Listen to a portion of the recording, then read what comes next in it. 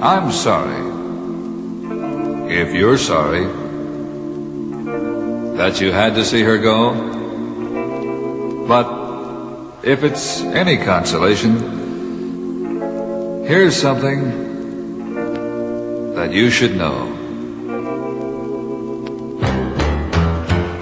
I'll take good care of your baby. I'll never ever make her blue. I'll tell her that I love her. Make sure I'm thinking of her in everything I say and do. I'll take good care of your baby.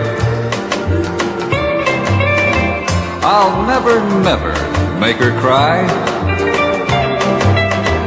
I'll let my love surround her, paint a rainbow all around her, and never let her see a cloudy sky. You said you didn't want her.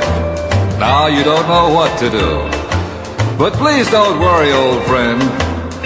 I'll do this favor just for you. I'll take good care of your baby.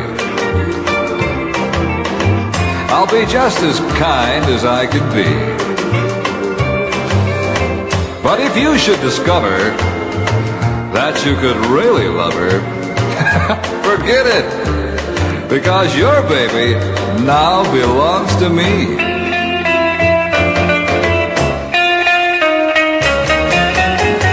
I'll take good care of your baby.